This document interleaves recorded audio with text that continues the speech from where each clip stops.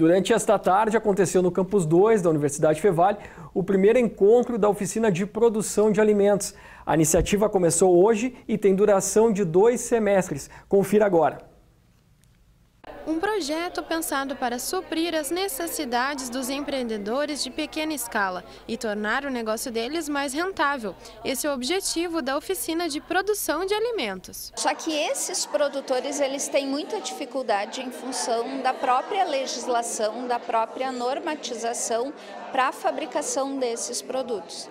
Então esse projeto ele vem ao encontro dessa necessidade e dessa demanda que nós tivemos que é de atender esses produtores de alimentos, tanto eh, no meio urbano quanto no meio rural. O objetivo então é capacitar os empreendedores que são os sócios desses empreendimentos.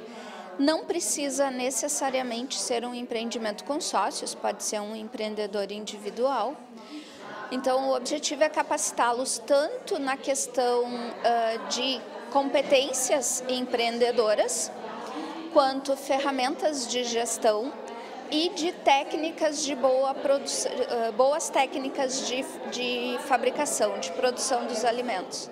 No primeiro encontro foi feito o diagnóstico das empresas de cada um. Eles apresentaram suas principais dificuldades e, a partir disso, vão ser pensadas as estratégias. Após essa etapa, os empreendedores tiveram que pensar na parte de custos e preços dos seus produtos. É importante uh, para os empreendedores para eles saberem exatamente que o que contempla não é só a matéria-prima né, envolvida, mas toda a questão da mão de obra, dos gastos gerais de fabricação, custo fixo, custo variável, que eles não têm uma noção muito extensa sobre isso. Então a proposta dessa oficina de hoje é trazer isso, né, conscientizá-lo dessas outras prerrogativas que tem na formação de um preço. Né.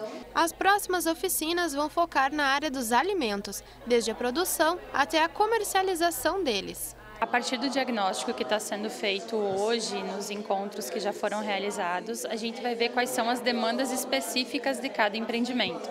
Algumas das oficinas que vão acontecer são relacionadas à higiene, boas práticas de manipulação.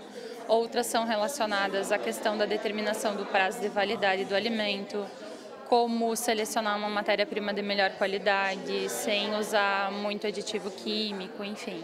A área técnica é importante, uma vez que o empreendimento, para conseguir se colocar no mercado, tem que oferecer um alimento seguro para a população, que tenha qualidade, que tenha um aspecto bonito.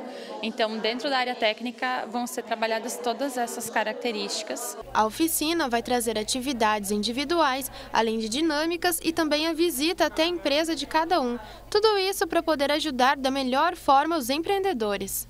A oficina está sendo importante para compartilhar informações, né, não só das técnicas de produção, como é, calcular o custo, custo, o preço, é, fazer a gestão financeira. Né. Muitas vezes as pessoas Uh, é o caso da gente ter uma ideia que a gente gosta bastante e a gente uh, quer aprender bastante sobre aquela ideia técnica, como de fazer, e às vezes esquece uh, o, o, lado da gestão financeira, por exemplo, ou a pesquisa né, um, para ter um trabalho mais consistente né, na, na parte da, da gestão.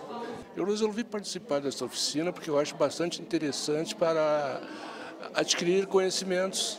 Para a gente que é leigo em certos assuntos, eu acho interessante isso.